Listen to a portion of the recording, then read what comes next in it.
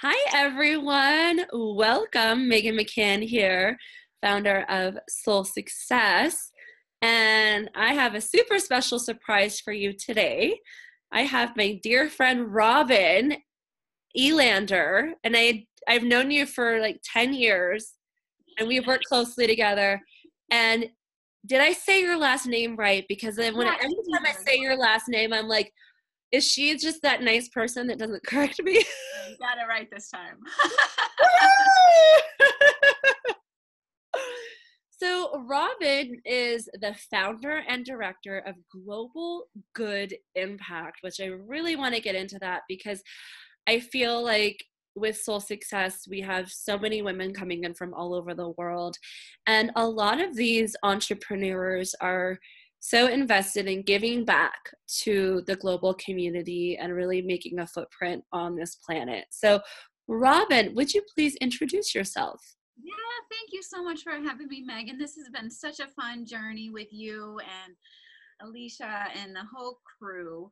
Um, a little bit about me. Uh, so, I started Global Good Impact um, about seven ish years ago now. Um, with really the desire to offer educational programs, um, project management, and help people get the tools, resources, and the confidence to get their ideas out into the world. Mm. So it's been a really exciting ride. I've had an opportunity to do some amazing uh, projects and also help people with their own projects, getting them out of their head, and then also some coaching retreats to really dive a little bit deeper because there's so much that goes into maximizing your impact. And so that's mm-hmm. really what the whole business is about. It's helping empower in, individuals, but also empower and strengthen communities. I love that. I love that. So, you know, you you help entrepreneurs make an impact on the planet and you know, you've been helping Elisa and I and the rest of the team with the Soul Success Summit and productions. And I know being a local Santa Barbara resident, you've helped with the Santa Barbara Solstice, which is one of the biggest events in Santa Barbara. I mean, I just remember growing up there and that being like one of my favorite events of the year. it's a lot of fun. And there's a lot of work that goes into not only running an event, but making an impact and making it memorable.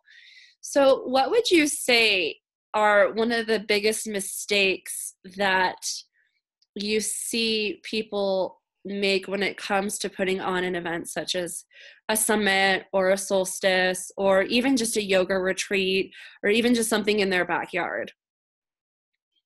Trying to do it all alone uh, is probably mm-hmm. the biggest mistake you could make because you really need a team to bounce ideas off yes. of, distribute the weight of the labor, and to be able to make the community connections outside of your immediate circle. I'd say that that's kind of the number one. Don't do it. You know, do it as a team. It's more fun that way, and it makes everything so much more possible. I love that you said that. In fact, I went live in my Facebook group yesterday talking about this exact concept of you know and, and i think especially when we're start first starting off we try to diy everything yes, because, and i've done it i totally have done it well, but me too. not the best plan me too. And and um, you know, I've you've been in business for a long time. I've been in business for a decade, and I felt like I was at that point for way too long, and it really stunted my growth because all of a sudden you're like in burnout mode. You're trying to figure out. You're wearing like so many different hats, and you're trying to figure out. Um, so many different pieces to the puzzle when you can propel your business in the event light years if you just ask the experts and you en- enroll those who can help you. Very true. Yes. That's what I've really become an expert at building a team for a particular project, for an event, for a campaign. So you kind of see what the end goal is and you work back and then you build the team to make that happen. So that's a pretty exciting uh, endeavor that I do for my own projects, but also help different nonprofits do it, entrepreneurs, and just individuals who have something that they want to do in their own community or on a global scale. Mm, awesome. Yeah. And Robin, I don't know if I've ever asked you this, but what what got you into you know like how did you come up with global good impact and really what were kind of some of the catalysts that got got you moving in that direction? Because i know when we first met you were making that transition because we worked together with a separate business and now it's coming around full circle and we're connected again which is so beautiful. Uh, how has that whole process kind of evolved for you? Well this was an opportunity to connect everything I've already done into one business. So I had worked for a number of different organizations, uh, city government, um, nonprofit organizations, private. I had done some research all over the world for about two years, traveling and looking at different organizations, what was working well, what wasn't. Mm-hmm. And I really like starting new things and helping people start new things. And so I was doing that for different organizations. But really, you can only do that so many times when you're working for a particular entity. You kind of yes. need to keep that thing going, and you know, there's value to the continuing process. But I wanted to keep helping people do that and also have the opportunity to pick diverse things that fit my own interests. I really like the health and wellness element, I like education, um, and really deep community work. And I was able to combine that through uh, starting my own business. Um, I had also worked at Antioch um, University for some time and helped them start their MBA in um, on uh, social entrepreneurship, as well as their women uh, leadership program. And then there's also this organization in town called Women's Economic Ventures. And I took a program through how to start my all of those really made sense for me to explore how people do it, but then also put those ideas and implement them. Mm, beautiful. And it's it's so fun listening to these stories because I think one of the biggest common mis- misconceptions with you know women who are um, you know dissatisfied in their career or whatever it is that they're doing is that they have to stay where they're at and they need to you know either get more education or find another opportunity elsewhere as opposed to manifesting it within yourself. Yeah absolutely and you are a beautiful example of that, Robin. Just watching your whole journey over the past 10 years has been so mm. beautiful.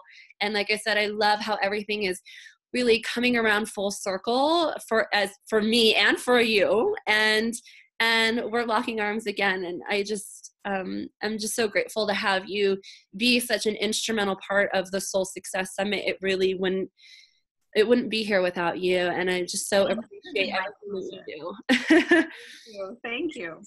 And and the women and you know these women who are coming in from all over the world it's the same. It's like they i what did I hear? I think it was Tony Robbins or some other mentor that said that um, magic happens either from desperation or inspiration.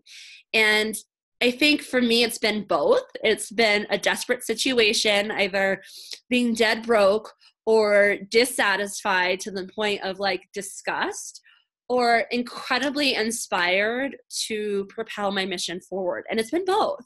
So, what do you say for you? Like, what do you do you think that you operate from the lens of inspiration, desperation, or both? You know, it's always a little bit of both, but I mean, I think it's more on the side of inspiration and through trust because I feel like yes. through trust in community, whether it's through additional teammates or understanding through others what is working, and you mm-hmm. develop mm-hmm. and test and you kind of take a risk, and then you begin to not only trust yourself but trust others. And I feel like that's when really the magic starts happening because you see possibilities in a different way mm-hmm. and it becomes real like it doesn't feel like you are still stuck in a certain way because you are learning to be able to implement and you have the people and the experts around you to be able to help you do that. And that's what I so love about this whole summit because last year, um, as I was uh, getting to know everybody there, it was an opportunity to just really see what people had skills and expertise in. But then over the course of the entire next year, learning what they were doing and kind of beginning to grow in a relationship with them and then having a lot of them come back and then add to that it just really becomes special when that is happening and i think you and i have grown from it in terms of what we've been able to do with our business opportunities we both sought out and are seeking together i mean it's that's where it's gets really exciting. Yes. Yeah and this is something that i always love to talk about is it really takes a tribe a community to grow your business just as it does your child your children. I mean you know being a mom to, to teenagers um, you know it's like learning how to lean on on support when you need it and stop trying to figure it out all on your own because you're just going to burn yourself out and go crazy sometimes yeah. like i do with my kids. Yeah. You've got to ask for help even if you don't know how to do something like there's often experts around and even if you don't know of an expert on a particular subject if you ask for one someone will probably tell you who they are and they're probably going to rock most likely. Yeah. usually people suggest people they love and that's when it starts becoming more possible. Absolutely. I mean even within our facebook group if i'm working with a client and you know just the other day like i had a client who had a very specific business question that was outside of my realm. And i posted it while we were in our meeting and then five minutes later i had like six or seven different comments that answered this really important question. And it just goes back to having your community of, of experts so that you don't have to try to figure it out all on your own. If I have a legal question, I know I have my team of lawyers within the Soul Success community. If I have a branding question, if I have an events question, um, I know to go to you and then some of the other event planners within our community. And like I said, it really propels your business forward instead of waiting and trying to find the answer all by yourself. Um, it's it's just been so beautiful to have that so thank you for really you know impressing upon people to to build it doesn't have to be soul success if that does if that's not what speaks to you but find your group your tribe that you can lean on to help propel you to the next level so that you can access your highest potential and i even and i tell people in my talks to have multiple communities around you separate mm-hmm. so that you can learn here learn here.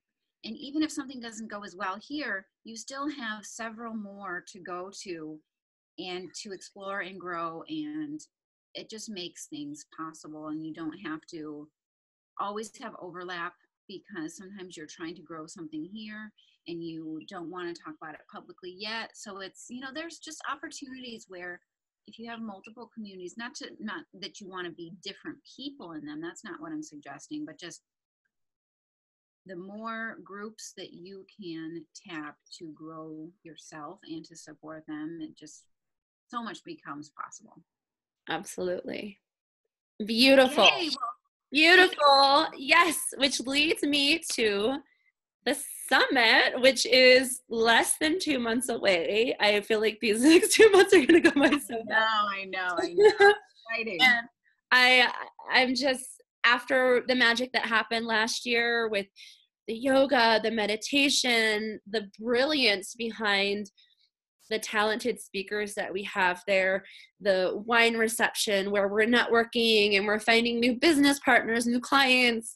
Um, it i just i just can't wait to see how this is going to fast forward the next year is when it comes to our business so if you would like to follow robin to santa barbara this March 30th and 31st. I know that you're going to be at both events. So you're speaking at the March event. You can enter Robin's first and last name when you get your ticket in the coupon code to receive $100 off your ticket. And it's R O B I N E L A N D E R in the coupon code and uh, receive $100 off your ticket so that you can be a part of this magical retreat weekend with amazing women. Um, please do that. And Robin, how can people get a hold of you if they want to find more info about what Global Good Impact is and how you impact people? Sure, they can go to the website at globalgoodimpact.com uh, or I have a Facebook page also under Global Good Impact. You can email me at, uh, well, I'll just leave it at that for now because that's just my, my contact information is on both of those things. Perfect. Awesome. Well, I love you so much, sister. Thank you so much for everything right that you do. I'm so grateful for you, and uh, I'll see you very soon. Okay, sounds good. Thank you. Bye. Bye.